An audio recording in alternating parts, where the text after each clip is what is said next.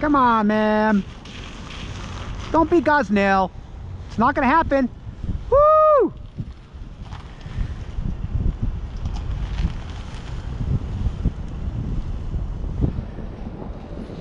Aw, ma'am.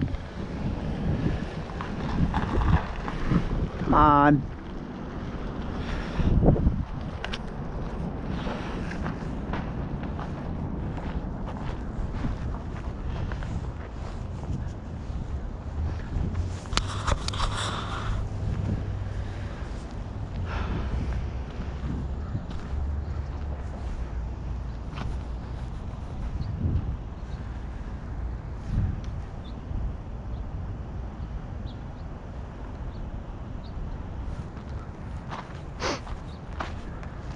I wouldn't want somebody on.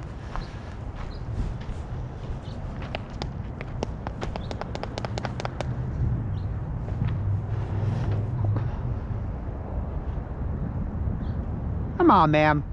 Choose life for once. Don't participate in this agenda to murder babies, ma'am. Come on.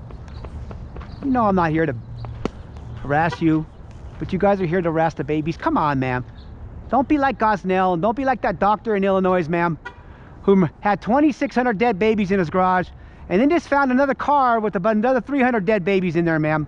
Come on. Come on, nurse or doctor or janitor or something. Come on. This is, this is enough of that murder, ma'am. It's enough of working for a dog pound, glorified dog pound for children. Come on, ma'am. I'm not trying to film you, ma'am. Just think about it. Just think about what you're doing, ma'am. Please, just think about it. And then do you take your lunch in there after squishing little children's skulls, ma'am? And ripping them apart? Don't you know that baby has a heartbeat after 21 days? Is that what it says? 21 days, ma'am. Has little, he has little brain, fingers, toes. Don't you know they have feelings, ma'am? Don't you know that? Come on, this place, UNM provides late-term abortion, ma'am. Please, don't be Gosnell. Don't be that doctor that just got caught with 2,600 dead babies in his garage and some in his trunk, ma'am. Come on, don't be part of that. Don't be part of that agenda, ma'am. Please, it's a little tiny baby, ma'am. God loves you. He wants you to repent and trust in the Savior Jesus Christ, ma'am. Come on. That's what he wants you to do. He wants you to repent and trust in Jesus, ma'am. Repent means to just change your mind. You don't have to do anything special, man, but just change your mind. Say, listen, I'm sorry, I don't want to kill babies anymore. That's not what I want to do anymore. Please, please, ma'am. Please, God loves you and he wants you to repent and trust in Jesus. Please think about it. Please dream about it tonight, ma'am.